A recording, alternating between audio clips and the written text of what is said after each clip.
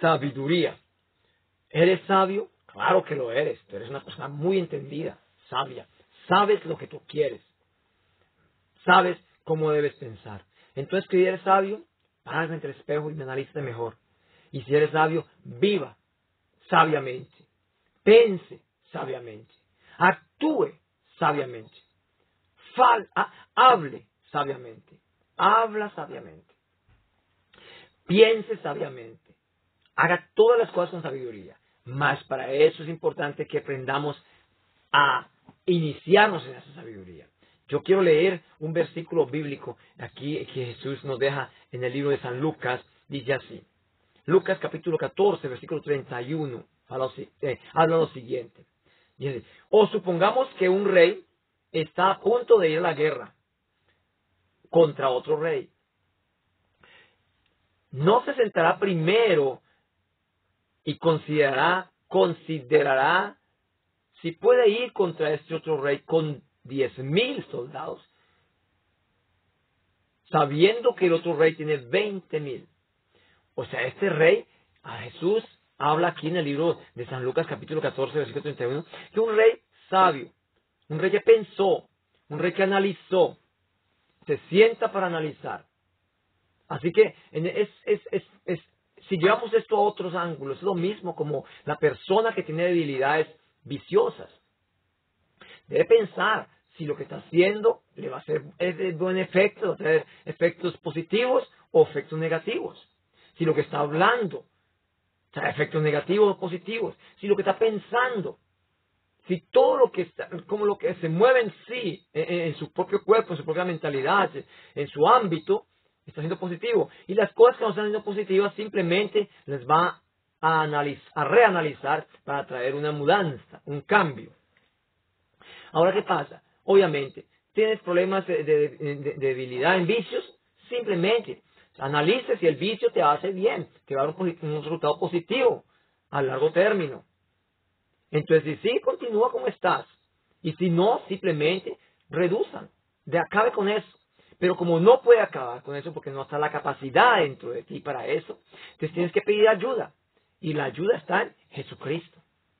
Allí está la ayuda. Los pensamientos. Entonces piensas demasiado. Eres una persona que solamente piensas y piensas y piensas y piensas. Y esos pensamientos te traen dolor, tristeza, te traen amargura, te traen estrés, un cansancio, preocupaciones. Entonces, como tú pienses y miran, analice si esos pensamientos te traen un resultado positivo. Si traen un resultado positivo, entonces los dejas. Pero si traen un resultado negativo, entonces tienes que tirarlos para afuera. Tienes que sacarlos, tienes que acabar con eso. Pero como la capacidad para ese cambio no está dentro de ti, entonces debes, debes de buscar ayuda. Y lo único que puede ayudar en estas cosas, que tienen realmente la solución verdadera, es Jesucristo. Entonces allí tenemos que venir a, buscar la ayuda. Así que es importante. Si usted, perdón, si usted es una persona que, que eh, actúa rápidamente, actúa sin pensar, actúa a una velocidad tremenda, sin pensarlo. Si, si no es como este rey que es, entonces simplemente usted va a la, a, la guerra, al, al confrontamiento, sin analizar. Entonces necesita ayuda. Debes sentarte, debes analizarte y si eres una persona de mucho eh, eh, eh, euforia, de mucho coraje, eres una persona de mucho ánimo, entonces debes mirar si ese ánimo, si, si ese coraje te es positivo, de forma que como lo tienes. Y si no es positivo, entonces debes parar y analizar y autocontrolarse. Pero como no está en ti, porque estas cosas no están en la capacidad humana, entonces necesitas ayuda. Y la ayuda está en Jesucristo. Él que te va a ayudar para estas cosas. Es importante estas cosas. Es una persona que hablas, hablas demasiado, o hablas y hablas y hablas cosas que no tienen resultado positivo. Entonces debes separar, de pensar, antes de hablar, pensar lo que vas a decir. Si no está en ti, entonces debes entender que necesitas ayuda. Y esa ayuda está en Jesucristo. Jesucristo trae la solución a todas estas cosas. Pero es importante que nosotros nos dejemos ayudar a Él, nos, dejemos ayudar de Él. Si tú no conoces de Jesucristo, simplemente comienza, iníciate en esto. Porque la ayuda para las debilidades, para todas aquellas cosas que tú tienes que cambiar dentro de ti, está en Jesucristo. Y para eso Jesucristo simplemente, Él va a actuar en ti a través de alguien. Si tú no conoces de Jesucristo, simplemente comienza en Él. Acéptalo. Proclámalo. Dile, Señor Jesucristo, yo necesito tu amor, tu perdón. Te acepto como mi Señor y mi Salvador de mi vida. Sáname. Señor, escribe mi nombre en el libro de la vida, por favor. Te agradezco por la salvación. Libérame, Señor. Desátame. Y comienza el relacionamiento con Él. Tú ya lo conoces, perfecto. Ayudemos a otros. Llevémosles el mensaje. Pero siempre hagamos algo positivo. Y lo que hagamos, analicémoslo para ver si es positivo, si nos va a traer un resultado positivo y no negativo. Jesucristo se colgó en la cruz, iba a ser muerto, y, a, la verdad fue muerto. Pero él sabía que el resultado era positivo. Entonces él llevó el, plano hasta el final. Ah, hoy tenemos un resultado tremendísimo. Tenemos un ejército muy grande, grande, tenemos multitud de creyentes, Jesucristo sentado en el trono, todo, todo está perfectamente andando, de acuerdo al plan de Dios. Entonces es importante que tú y yo entendamos que la ayuda está en Jesucristo. Siempre. Pero Jesucristo, Él no va a venir a, hablarte eh, directamente. Él, tienes que estar dispuesto. Tienes que en humildad. Voy a leer otro versículo aquí, dice así.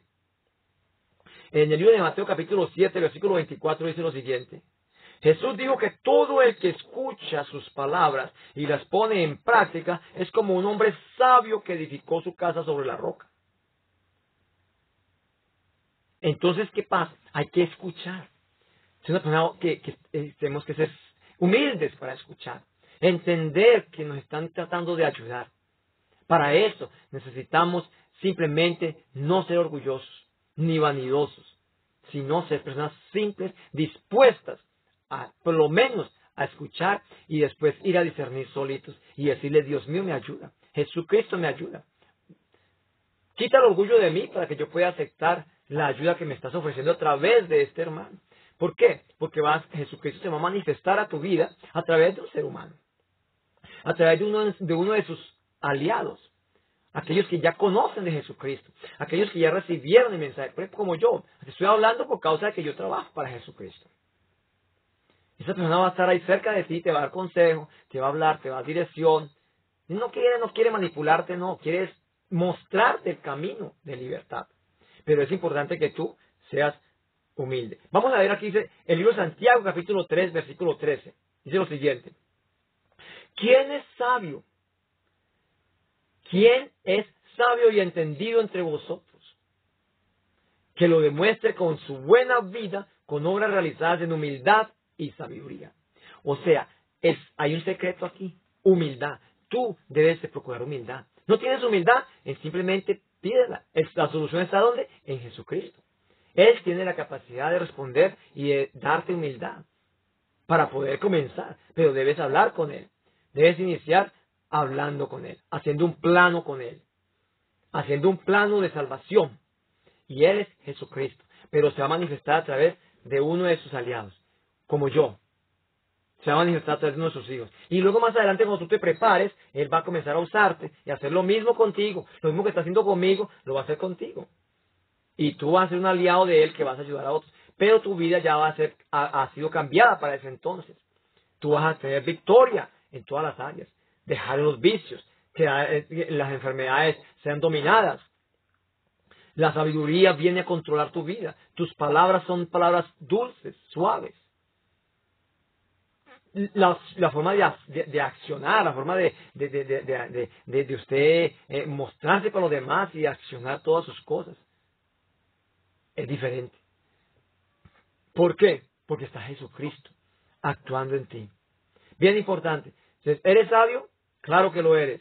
Entonces vive sabiamente, piensa sabiamente, actúa sabiamente, habla sabiamente. Recuerde que para esas cosas es simple. Tú simplemente dices, yo quiero y Señor, ayúdame. Toda esta ayuda está en Jesucristo. Simplemente debes aceptarlo a Él en tu corazón y Él te va a ayudar. Pero recuérdelo bien, Él te va a ayudar a través de uno de aquellos que ya conocen a Jesucristo. Que ya conocen la palabra de Dios, que conocen lo que está escrito, que conocen el código de vida de Jesucristo. Estos son los que van a poder darte la mano porque Jesús los va a usar a través de ese conocimiento que está en ellos, los va a usar para darte poder, darte sabiduría, para transmitir en ti aquello que está, en ellos. Dios te bendiga, te guarde y vamos a vivir sabiamente. La paz de Jesús. Chao.